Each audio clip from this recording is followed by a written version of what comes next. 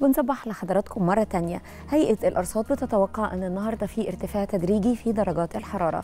الطقس هيكون حار نهارا على أغلب الأنحاء ومائل الحرارة على السواحل الشمالية الشرقية وشديد الحرارة على جنوب الصعيد.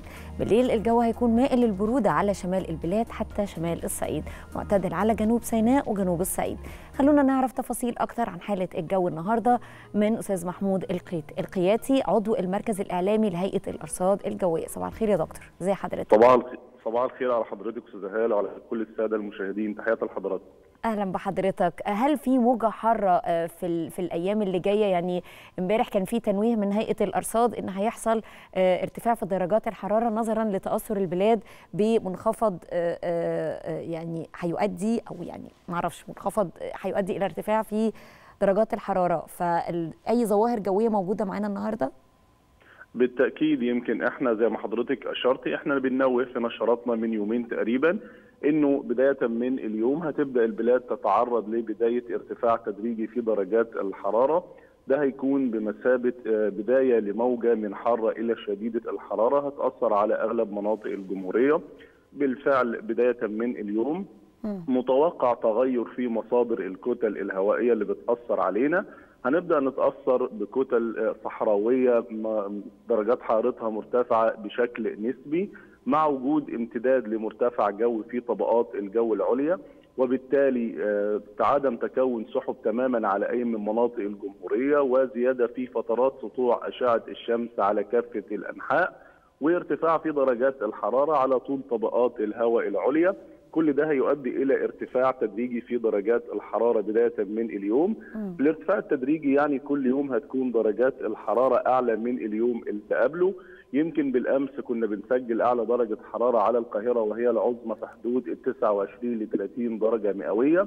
صحيح. اليوم بنتوقع إن العظمى تكون ما بين ال 32 ل 33 درجة هتوصل ل 37 على جنوب الصعيد.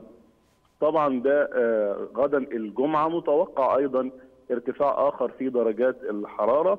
نقدر نقول إن العظمى بكرة على القاهرة ما بين ال 34 ل 35 درجة هتوصل ل 40 ل 41 على جنوب الصعيد كمان السواحل الشمالية لها نصيب من الارتفاع ده هتوصل عليها العظمى ما بين ال 32 ل 33 درجة مئوية.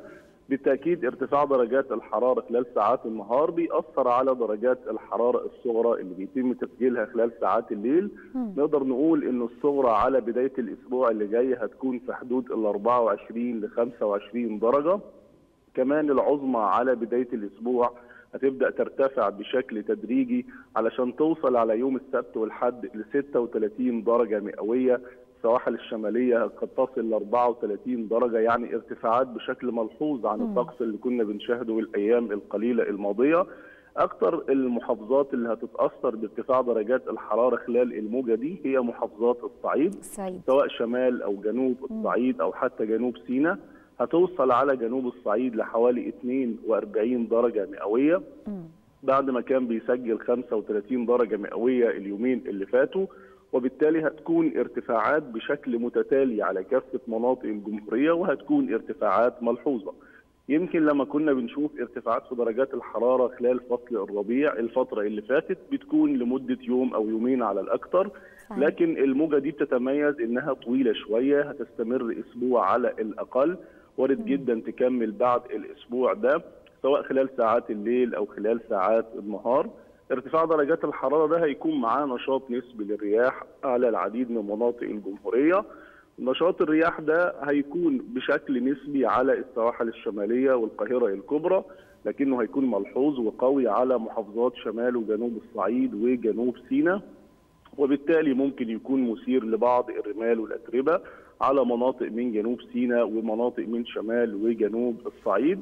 كمان يمكن منذ الأمس أصدرنا إنذار بحري خاص بالبحر الأحمر ومناطق من خليج السويس وخليج العقبة وبالتالي الإنذار ده مستمر معانا حتى نهاية الأسبوع ده على الأقل يعني النهارده وبكرة إن شاء الله بنحذر من حالة الملاحة البحرية على البحر الأحمر نتيجة سرعات الرياح العالية اللي بتصل على سطح البحر الأحمر لحوالي 70 كيلو متر على الساعة وبالتالي ارتفاعات الأمواج بنتوقعها سواء على البحر الأحمر أو على خليج السويس وخليج العقبة بتصل لحوالي 4.5 المتر وبالتالي غير مؤهلين تماما لأعمال الصيد والملاحة البحرية. مم. مم. طيب بالنسبة للشبورة أستاذ محمود الشبورة يمكن آخر فرصة ليها اليوم وهي خفيفة جدا يمكن محطاتنا سجلت شبورة مائية خفيفة جدا على مناطق من السواحل الشمالية وبعض محافظات الوجه البحري لكن بداية من الغد نتيجة تغير في مصادر الكتل الهوائية والكتل ونسب الرطوبة هتكون قليلة نسبيا وبالتالي الشبورة المائية يمكن آخر فرصة ليها اليوم إن شاء الله. اذا ارتفاع درجات الحرارة أو الموجة الحارة بتبدأ معانا النهارده ومستمرة معانا لغاية الأسبوع القادم صح كده إن شاء الله وارد تكمل بعد الأسبوع.